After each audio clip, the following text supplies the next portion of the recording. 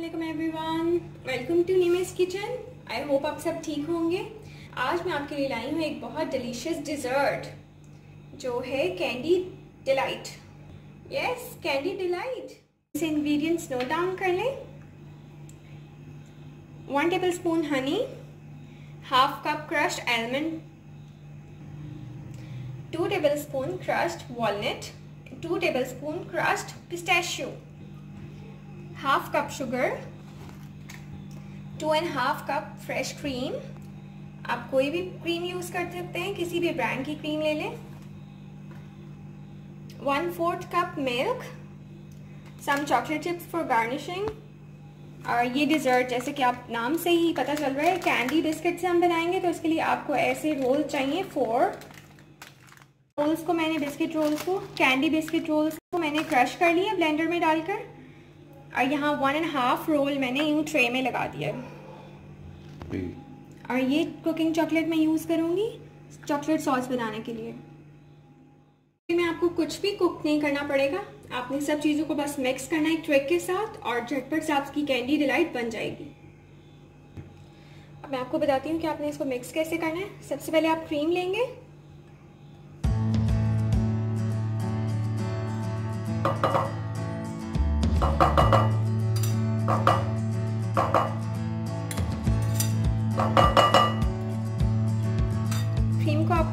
बड़े से बॉल में मिक्स कर लेना।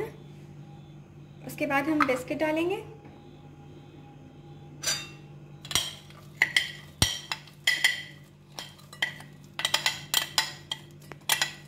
कुछ बिस्किट हम बचा कर रखेंगे लेयरिंग के लिए। उसको मिक्स करें।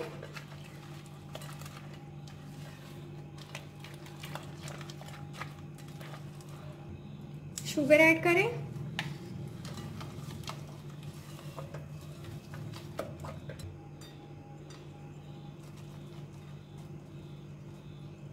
इतने आलमंड हम बचा कर रखेंगे for layering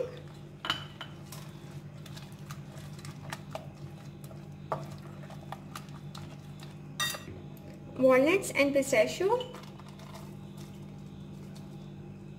इतने हम बचा कर रखेंगे फॉर लेयरिंग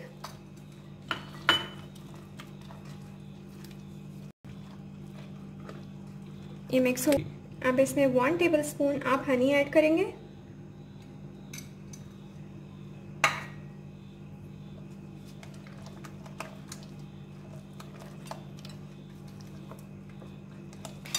इस तरह का हाफ़ रोल लेकर मैंने वन एंड हाफ़ रोल को बिस्किट्स को खोल कर पहले ही डिश में बिल्कुल सेट कर लिया अब आपने जो मिल्क लिया हुआ है, उसको हम बिस्किट्स पे डालेंगे ताकि ये सॉफ्ट हो जाए।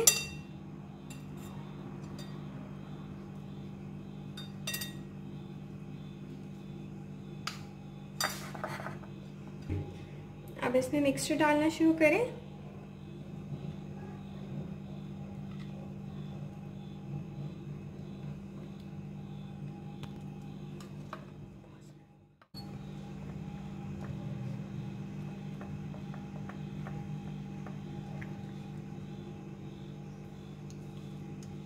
अपनी सारी क्रीम को आप यूँ सेट कर लें।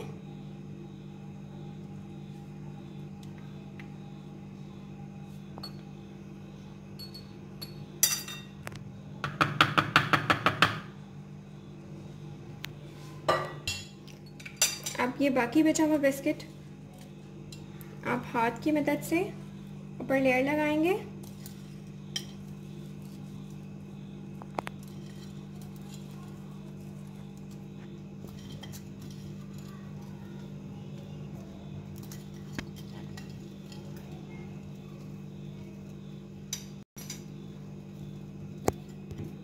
यहाँ बिस्किट को इक्वली हर जगह सेट कर दें। इसके बाद जो नट्स हमारे पास बचे हुए थे,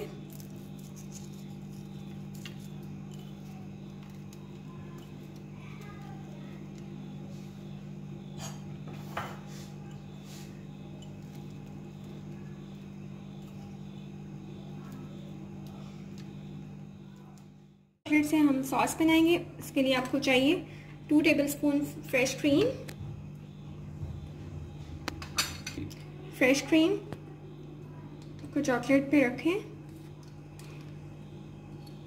और अब हम इसे माइक्रोवेव में 30 सेकेंड्स के लिए रखेंगे तो ये मेल्ट हो जाएगी।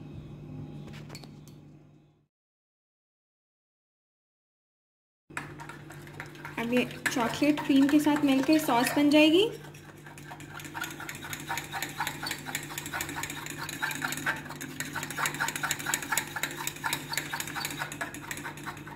आप चाहें तो इसमें थोड़ा सा दूध ऐड करके इसको और पतला कर सकते हैं।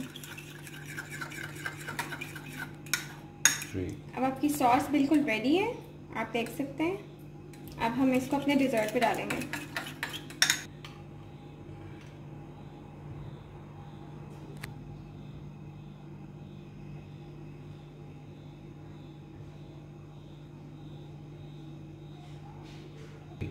अब इस पर आप चॉकलेट चिप डालें।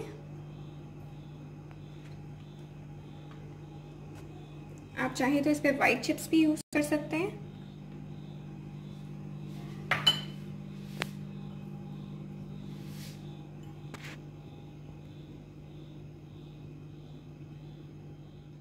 सर्व करने से पहले अपने डिज़र्ट को एक से डेढ़ घंटे के लिए फ्रिज में ठंडा कर लें।